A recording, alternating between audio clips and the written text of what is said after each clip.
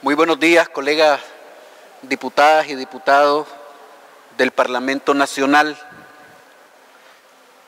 El día de hoy tenemos la oportunidad de intercambiar frente al pueblo nicaragüense sobre una de las leyes más importantes que se discuten año a año en el Parlamento Nacional.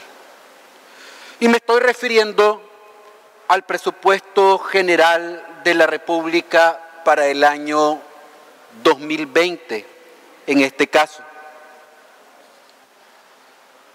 En principio creo que es oportuno solicitarle algún cierto tipo de dispensa a todos mis colegas, porque quisiera dirigir mi intervención más a los hermanos y hermanas nicaragüenses que nos miran y nos escuchan a través de los diferentes medios de comunicación. Porque cuando se discuten estos temas y nosotros empezamos a agarrarnos a los números, a los conceptos, a las definiciones, y empezamos a hablar que el gasto corriente, el gasto de capital, el déficit, el balance, mucha gente lo que hace es que deja de prestarnos atención. Y es responsabilidad nuestra hablarle al pueblo de Nicaragua con toda la claridad posible de un instrumento que no es para sabios y eruditos.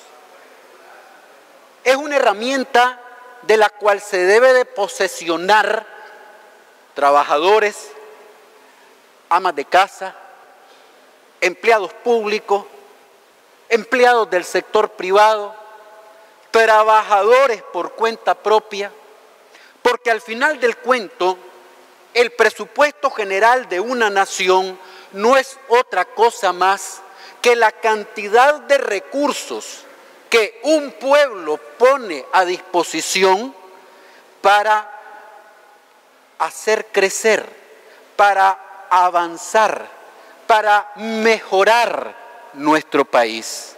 Entonces, en principio, yo quisiera pedir un mínimo de respeto cuando hablemos de este tema, porque estamos hablando de reales sagrados, estamos hablando de dinero que las y los nicaragüenses, con el sudor de su frente, trabajando, aplican en impuestos, pagan en impuestos para que un gobierno dé más salud, más educación, que haga mejores carreteras, que garantice la seguridad del pueblo, la seguridad ciudadana y que dirija recursos a los sectores producen en este país.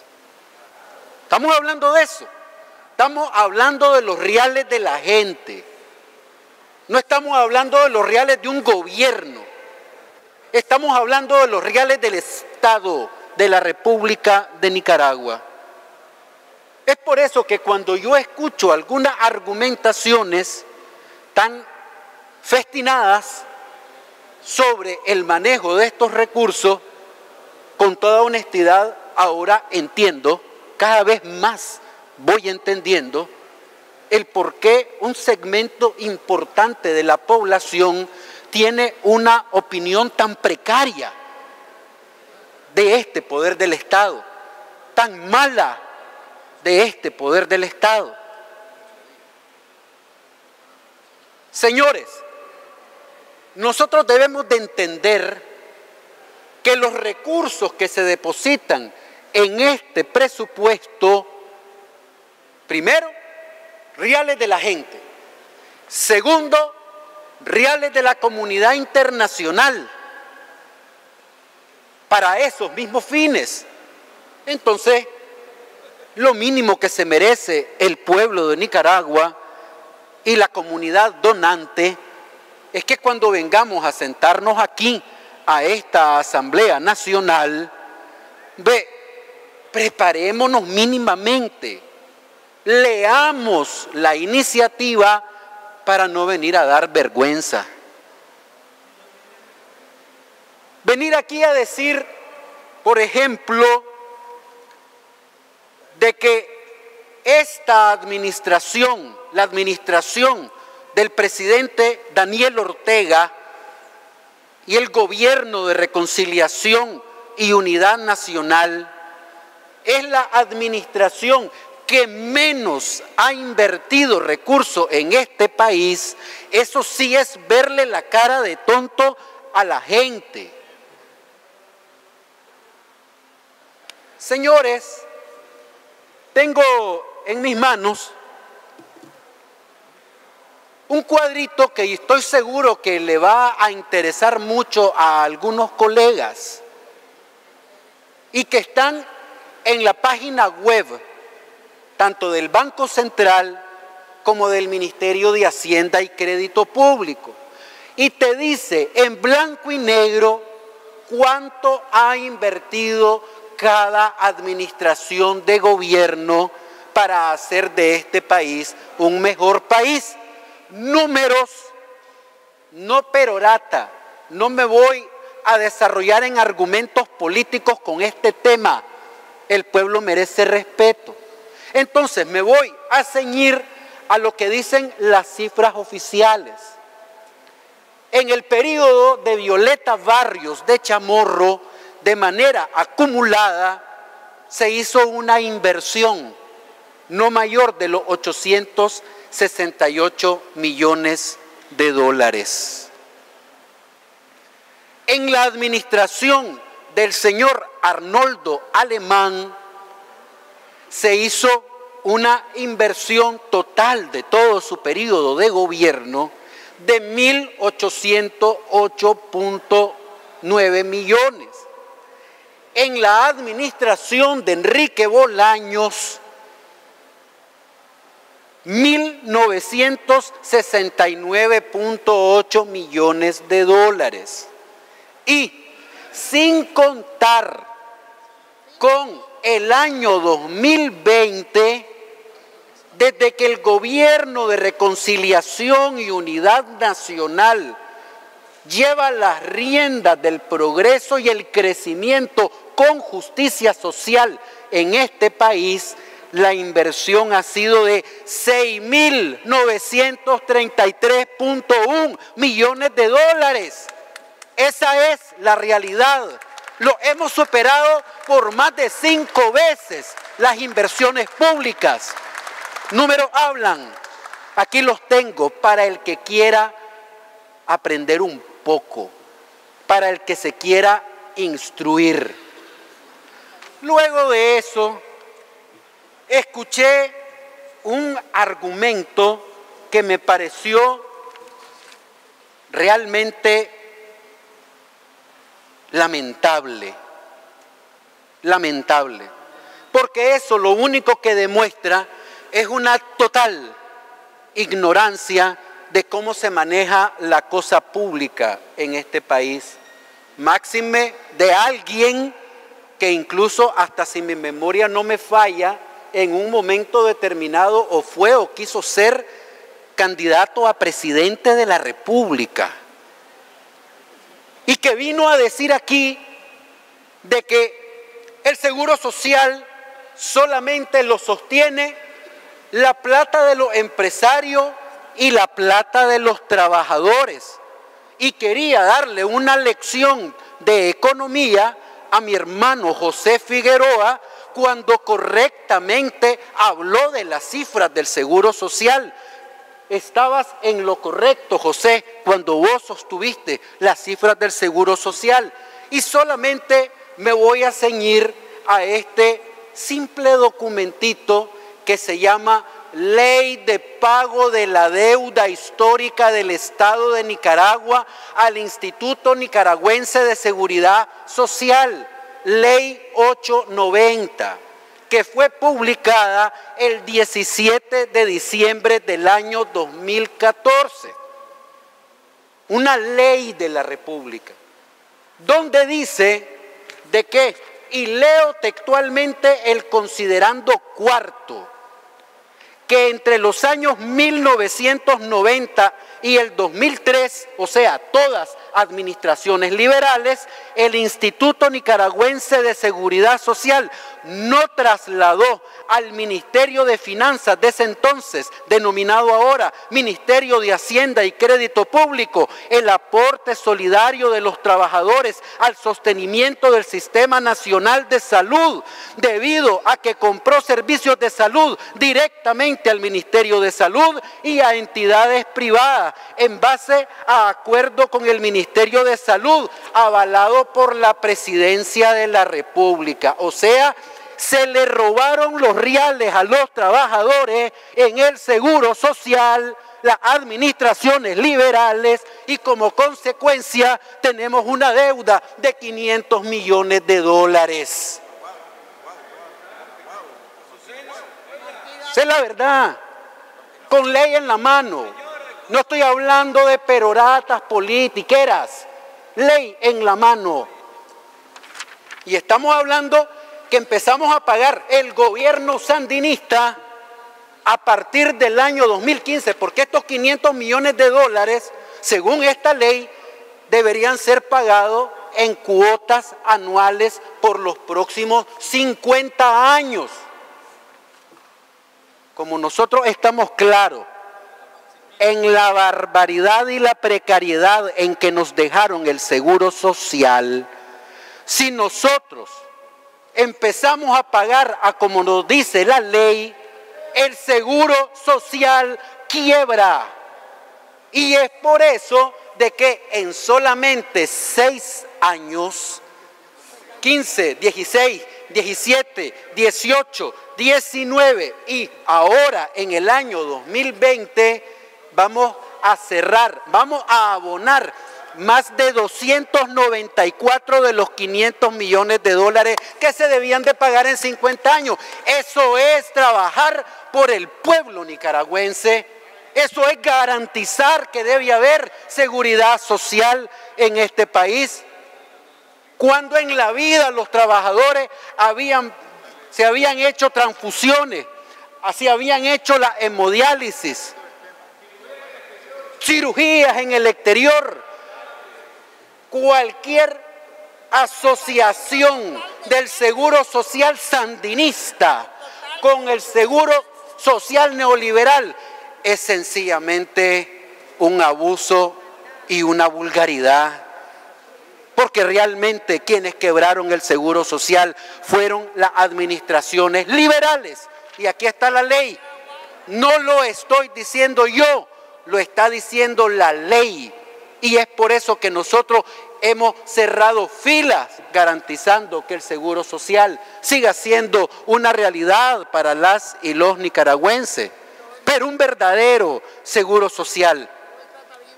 Un seguro social que dé una verdadera respuesta a las mujeres y demás personas que tienen cáncer y que efectivamente reciben su tratamiento que jamás recibieron en las administraciones neoliberales. El pueblo tiene memoria histórica. Al pueblo no se le olvidan esas cosas.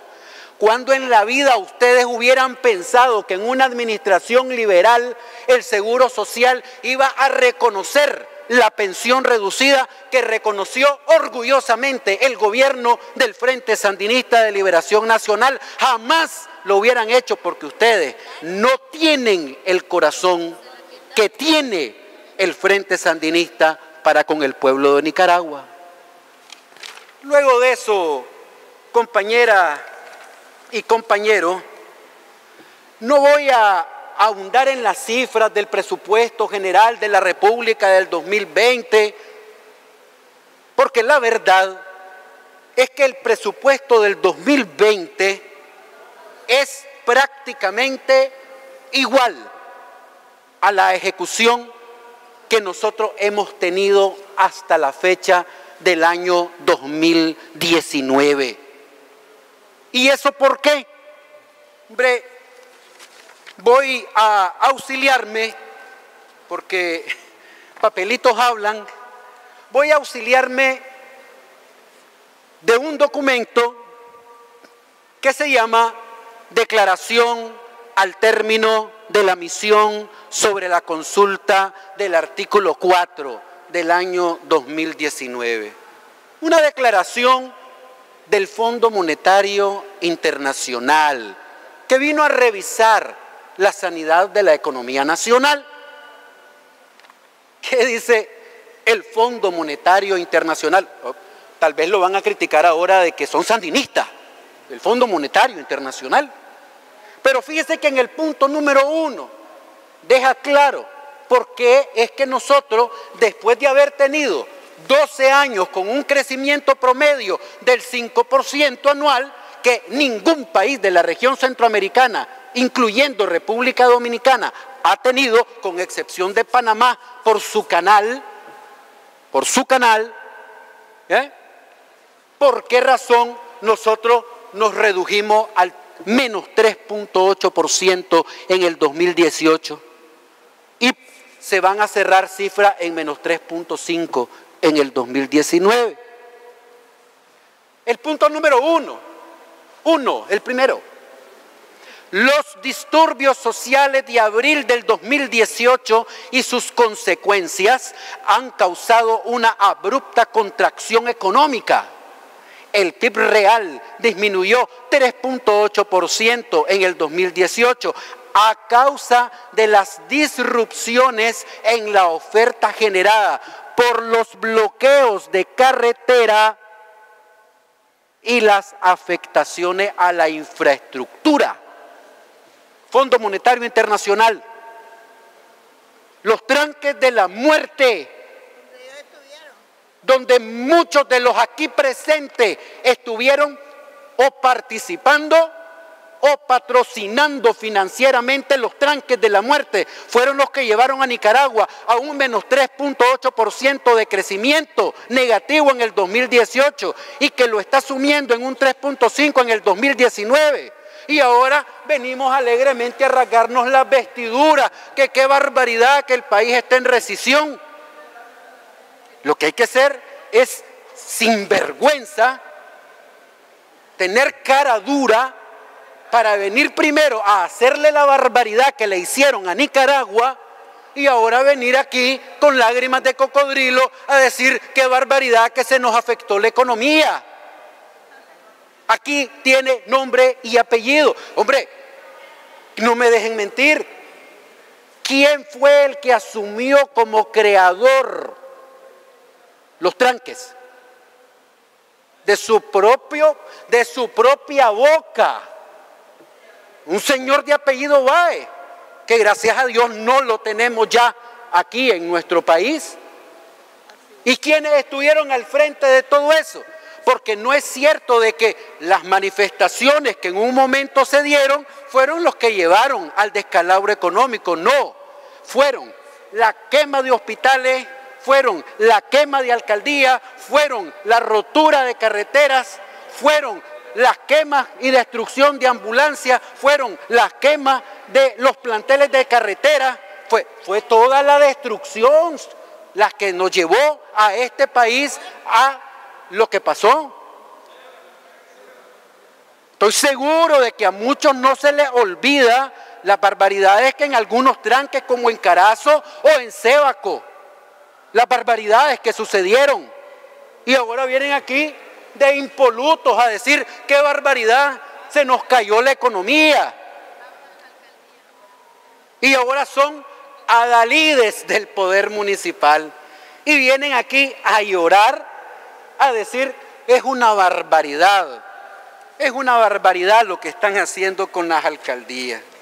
Pero yo creo, compañeras y compañeros, diputadas y diputados, que para que una institución política venga aquí con autoridad moral a hablar de las transferencias municipales, primero que se revise.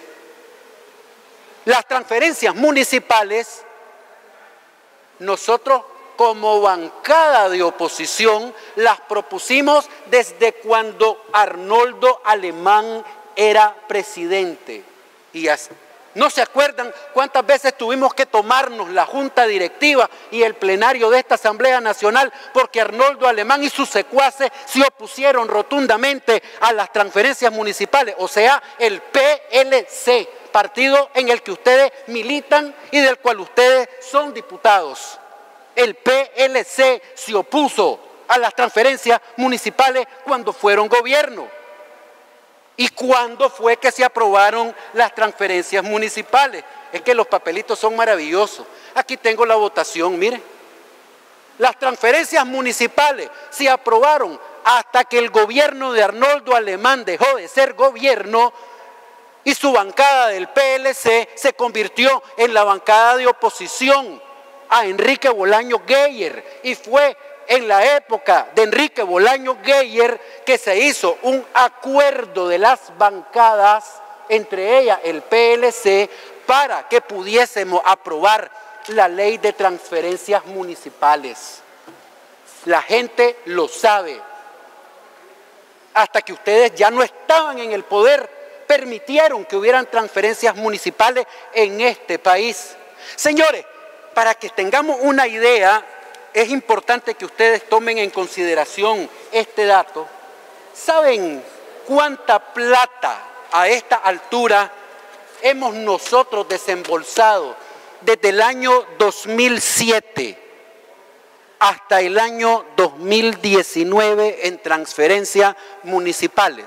El gobierno sandinista, 53 mil millones de córdobas más de 11 mil millones en transferencias corrientes y más de 37 o 38 mil millones de Córdoba en transferencias de capital. Es por eso que el dato que dio José Figueroa de la reducción del 48 al 24% de la pobreza general, eso sí es cierto y se logró y se ha logrado en la administración sandinista. Yo no sé de dónde sacan ese 29%, porque hablan de los grandes economistas independientes, pero que ni siquiera tienen pantalones para decir, yo como economista digo que la pobreza está en el 29%.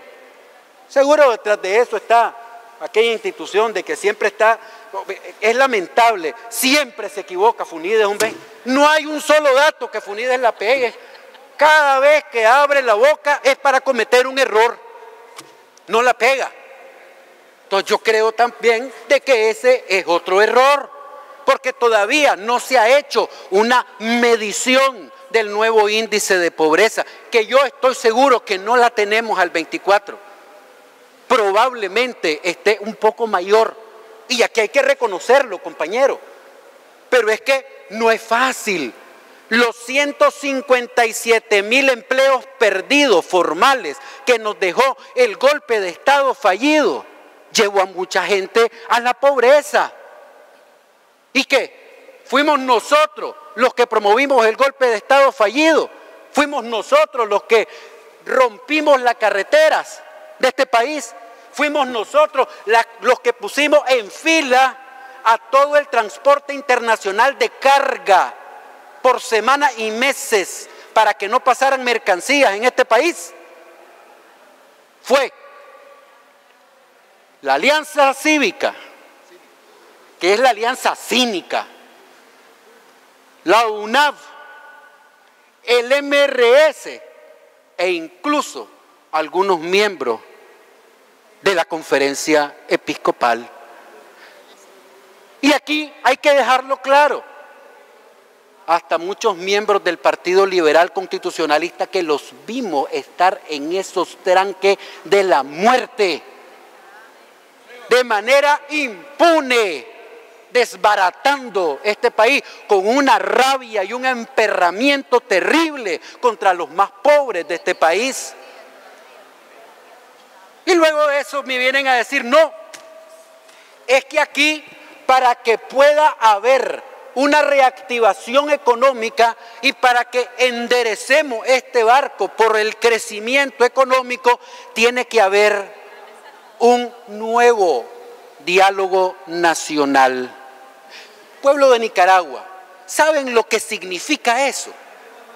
Eso es como que a una persona la hayan violado y que antes de restituirle y darle justicia a esa persona, primero tengo que ir a negociar cómo darle justicia a la persona violada con el violador. Eso es lo que nos están diciendo. Es un chantaje político de lo más vulgar. Decir, antes de cualquier cosa tiene que haber un acuerdo político. ¿Qué? Un acuerdo político, andar buscando la solución con los que causaron el daño. Eso no tiene ningún sentido práctico ni político, ni humano.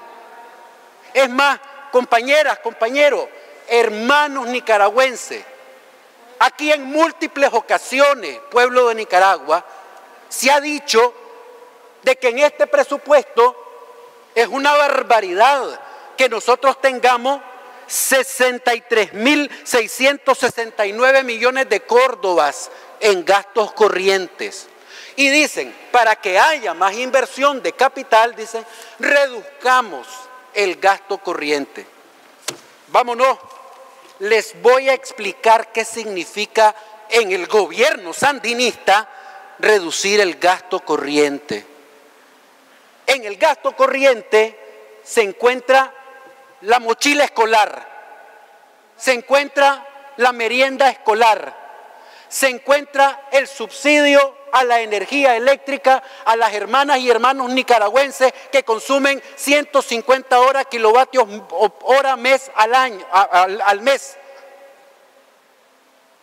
Allí están los programas como Hambre Cero, como Usura Cero, que han venido a reducir la pobreza.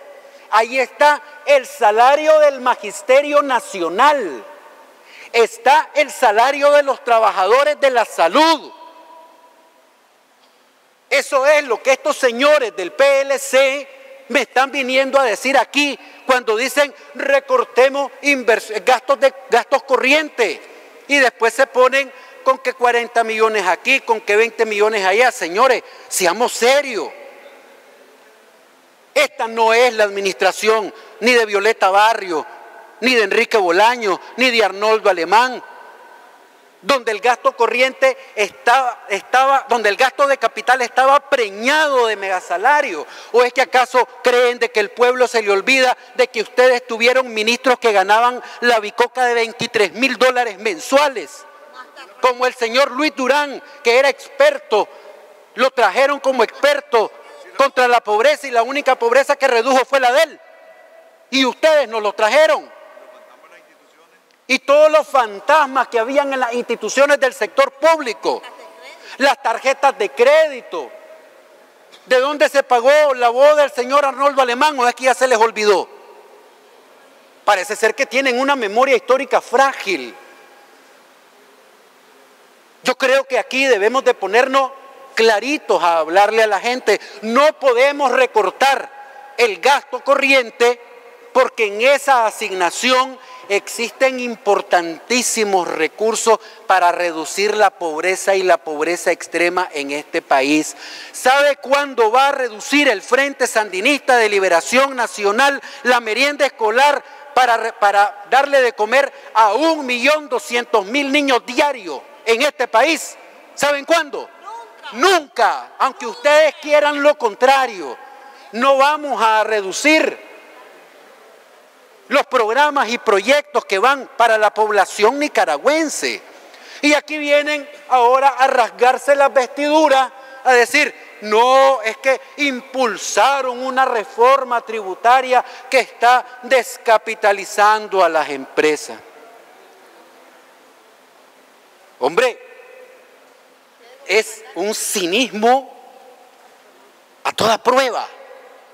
Primero, Dijeron de que la reforma fiscal no te iba a dar un centavo. Ahí está, más de 8 mil y pico millones, casi 9 mil millones de Córdoba me da la reforma fiscal. Dice que en el 2020 ya no va a dar nada. No, señores, en el 2020 lo que se está haciendo es incorporando ya los recursos que la reforma fiscal nos da, más un 2.1% de incremento adicional. Eso es, la reforma tributaria ha sido un éxito porque ha hecho pagar a los que más tienen y ha protegido el bolsillo de los más pobres. Ahora, aquí también vamos a hablar claro, porque unos han andado a la bulla y otros a la cabulla. Y hay muchos empresarios que han agarrado la ley de concertación tributaria, la reforma fiscal, y no solamente le han aplicado el 15% del IVA a unos productos determinados, sino que inclusive son el 15% del IVA más 35 más que es mi ganancia por cualquier cosa. Eso es lo que ha hecho el sector privado y es por eso que se me ha disparado la canasta básica, no es por el 15% del IVA en algunos productos. Le roban al pueblo y le quieren ver la cara de tonto. Es por eso, colegas diputados y diputadas, que aquí no se pueden negar los más de 31 hospitales ya construidos en el periodo de reconciliación y unidad nacional. ¿Eh? Los hospitales rehabilitados y mejorados, 40. Los centros de salud construidos, 25. Los centros de salud rehabilitados y mejorados, 29. Los puestos de salud construidos, 59. Los puestos de salud rehabilitados, 18. Las casas maternas, 26. ¿Saben cuántas casas maternas hicieron ustedes? Ni una. Y las casas maternas rehabilitadas, 8. Esa es la realidad. Entonces, señora y señores, a estas alturas del campeonato, yo creo que vale la pena entender y meditar con honestidad la Nicaragua que queremos mañana. No podemos seguir en esa lógica de mentiras, de mentira y de mentir, porque dice, miente, miente, miente, que algo queda, como la teoría de Goebbels, el nazi, el fascista, Goebbels.